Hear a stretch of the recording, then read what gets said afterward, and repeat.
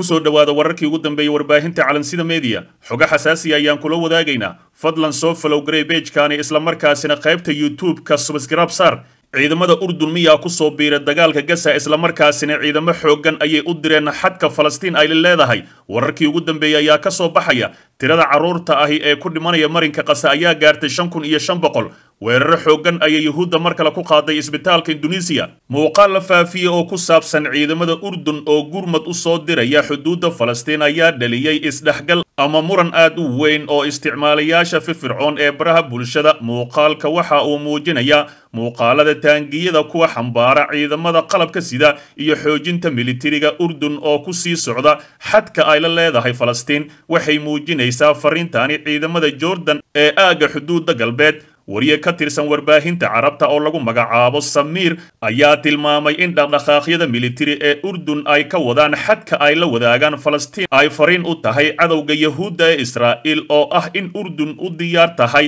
dagaal haddii la fuliyo qorshaha lagu doonayo in falastiiniinta laga barakiciyo daanta galbeed ee ku wajahan dhulka urdun gaar ahaan tan iyo markii uu dhacay fursadahan ayaa bilaabay in ay ballaariyaan hubaynta dadka deegaanka iyo baaqooda dadka daanta galbeed in ay u jihaystaan dhanka urdun haddaba urdun waxay diyaar u tahay inay difaacdo reer gasa islamarkaasina ayan ogolaan doonin in dadkaasi laga soo barakiciyo dhulkooda loona soo barakiciyo dhanka urdun. Dagaal ayaan ka xignaa. Weriye samiir oo ka hadlay muuqaalka la wareejinayay ayaa yidhi warbaahinta militariga ee ciidamada qalabka sida ee jordan nooma aysan sharaxin waxa sababay dhaqdhaqaaqa xooggan ee ciidanka ee ku wajahan xuduudka falastiin. Ayuu ku tilmaamay waraysi uu siiyey warbaahinada qaar waxa uu intaa ku daray muuqaalka la baahiyey ayaa su'aalo badan iyo mala awaal laga keenay sidaa awgeed waxaan aaminsanahay inay si rasmi ahi u caddayn doonaan waana in ciidamada qalabka sida ee urdun ay soo saaraan bayaan ku saabsan arrintaani.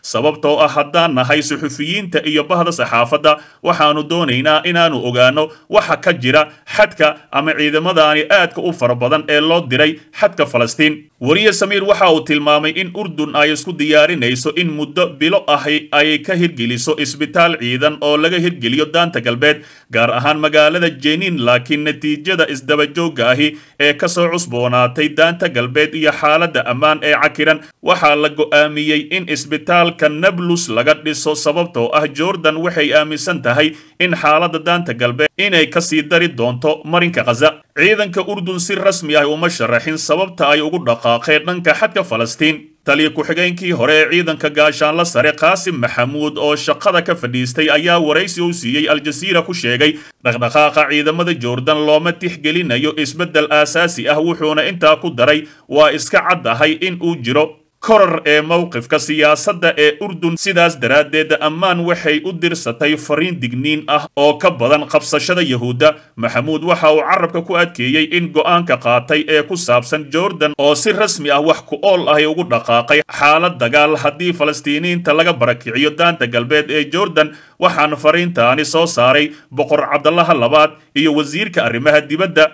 ee dalkaasi ciidanka urdun ayaa furay baaritaan kadib markii toddoba xubnood oo ka tirsan ciidamada. Isbitaalka beerta jordan ee gasa la dhaawacay xilli ay isku diyaarinayeen inay daaweeyaan muwaadiniin falastiiniin ahi ee ku dhaawacmay duqaynta israa'iil sida lagu sheegay bayaan ay soo saareen ciidankaasi. Dhinaca kale ciidamada yuhuudda ayaa sii wada weerarada ay ku beegsanayaan xarumaha caafimaadka ee marinka qasa iyadoo duqaynta ay weli ku socoto isbitaalka induneisiya ee waqooyiga marinka qasa waxaa ku dhintay labiiyo toban qof iyo dhakhtarkooda. Wasaaradda caafimaadka ee falastiin ayaa sheegtay in ciidamada gumaysigu ay go'doomiyeen isbitaalka induneisiya oo ay ku jiraan ku dhowaad toddoba boqol oo shaqaale caafimaad ah iyo dhaawacyada marka laga soo tago dadkii ku barakacay halkaasi. Waxaanu ka dignay in dib loo soo celiyo wixii ay yuhuudda ka geysteen xarunta caafimaadka ee shifa. Xafiiska warfaafinta dowladda gasa ayaa sidoo kale ka digtay in gumaysiga uu ka geysan doono isbitaalka induneisiya xasuuq cusub oo ka dhan ah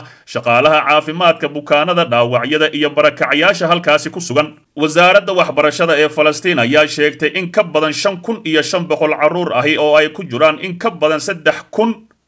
oo arday shahiiday tan iyo howlgalkii galdarrada gumaysiga yahuudda ka dhanka ahaa marinka qasa toddobadii oktoobar halka kun iyo siddeed boqol carruur ahi loo arko in la la'yahay oo ay la socdaan kumanaan dhaawacyo ahi iyo tobannaan kun oo guryahoodii la burburiyey carruur badan ayaa la rumaysan yahay inay weli ku hoos jiraan dhulka hoostiisa maadaama guryihii inta badan ay ku soo dumeen. Waxaana la'yahay qaabkii loo soo faagi lahaa carruurtaasi ama dadkaasi ku hoos jiro guryihii ay yuhuudda duqaysay. Fadlan dib u daaw wararkeenii hore ee calansida mediya xogo xasaasi ayaan kula wadaagayaa ururka xuutiyiinta oo afduubtay markab weyn oo ay leeyihiin israa'iil islamarkaasina jab xooggan ayay gaarsiiyeen. Yuhuudda ayaa afka soo furatay islamarkaasina ayaga ayaa sidoo kale soo hanjabay. Ra'iisul wasaaraha airelan ayaa dhegta dhiigga u diray midowda yurub iyo maraykanka ee garabka siinaya yuhuudda fadeexad culus ayaa soo baxday islamarkaasina israa'iil ayaa shacabkeeda iska laaysay afar kun oo israa'iiliyiin ah ayaa duqaysay.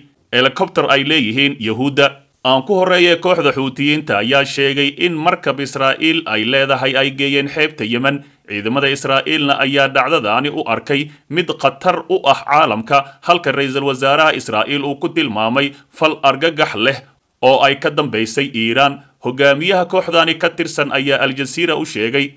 qaadashada markabkaani waxay guul u tahay dadka dulman ee marinka qasa waana afduubannay ayuu yidhi. Afhayeenka militariga ee xuutiyiinta yaxya sare ayaa ku dhawaaqay fiidnimadii axaddii in ciidamadooda badda ay qaateen ama ay qabsadeen waxa ugu yeedheen howlgalka militariga ee ka dhacay badda cas. Natiijadu waxay ahayd qabsashada markab israa'iil laga leeyahay oo la geeyey xeebaha yemen ayuu yidhi yaxya sare ayaa yidhi markabkii iyo xamuulkiisa gebi ahaanba waan qabsannay oo xeebta ayaan geysanay afhayeenka militariga xuutiyiinta ayaa tilmaamay in tani ay tahay mas'uuliyadda diimeed midda bini'aadinimo iyo mas'uuliyadda akhlaaqeed ee ku wajahan shacabka falastiiniinta ee dulman iyo go'doominta ay ku hayaan iyo sii socoshada xasuuqa foosha xun iyo xasuuqa loo geysanaya carruurta iyo haweenka. Dhankooda ciidamada yuhuudda ayaa sheegay in afduubka markabkaasi xamuulka ahi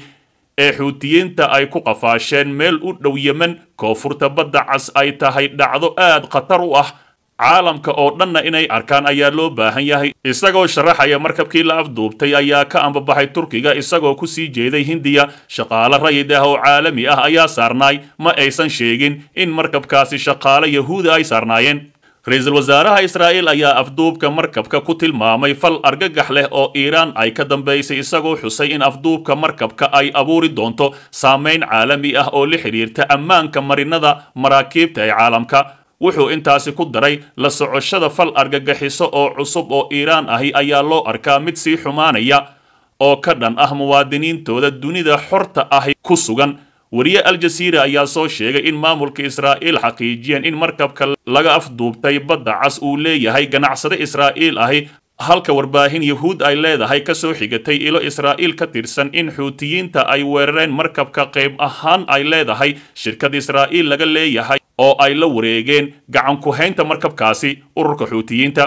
wakaaladda wararka ee a b ayaa soo xiganaysa saraakiisha maraykanka ayaa xaqiijiyey in xuutiyiinta ay qabsadeen markabka hogaamiyaha xuutiyiinta ayaa hadda ka hor digniin xooggan siiyey maraakiibta ku safraysa badda cas dhinaca kale ra'iisul wasaaraha airelan wuxuu dhaleeceeyey reer galbeedka laba weji ayay leeyihiin ayuu yidhi ra'iisul wasaaraha airelan faradkar ayaa sheegay in ay jiraan laba weji oo u dhexaysa midowda yurub iyo quwadaha reer galbeedka ay khuseeya israa'iil iyo falastiin ra'iisul wasaaraha ayaa sheegay in xaaladda marinka qasa aan loo dulqaadan karin islamarkaasina ay wejiga ka daboolanayaan reer galbeedka. Duulaanka israa'iil ee marinka qasa ayaa socda maalintii shan iyo afartanaad waxayna ciidamada gumaysiga ku dhawaaqeen in tiro ahaan laga dilay ciidamadooda toddoba askari. Halka guutada alqasam ay sheegeen inay dileen lix askari oo kale oo ka tirsan yahuudda usaama xamdan gumaysiga waa kii geystay xasuuqii toddobadii oktoobar hogaamiyaha dhaqdhaqaaqa iska caabinta islaamiga xamaas. Usaama hamdan oo shir jaraa'id ku qabtay bayruud ayaa yidhi gumaysigaani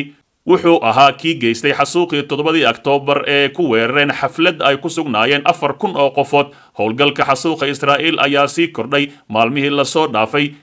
iyada oo ujeeddadu tahay barakicinta falastiiniyiinta waxaan ugu baaqaynaa maamulka maraykanka in ay ka laabtaan mowqifkoodii iyagoo taageeraya gumaysiga iyo gardarrada waxaan ku baaqaynaa in si deg deg ah loo furo isgoyska rafax iyo marinada bini'aadanimo ayuu yidhi. Si kastaba ha ahaatee saacadihii la soo dhaafay waxaa soo baxayay xasuuqii halkaasi ka dhacay ama gudaha yahuudda ka dhacay in diyaarad yuhuudda ay leedahay ay duqeeyeen. Dadkii halkaasi ku xalfadaynayay caddeymo xooggan ayaa isa soo taraya fadeexad xooggan ayaa soo wajahday. Maamulka ra'iisul wasaaraha dalkaasi shacabka reer israa'iil ayaa iminka waaga uu ku bariyey dadkii halkaasi dusha loo saaray guutada alqasam waxaa laayay ciidamadooda ee yuhuudda ahi. Dhegaystow ogow haddaadan xalka qayb ka noqon waxaad qayb ka tahay dhibaatada dalka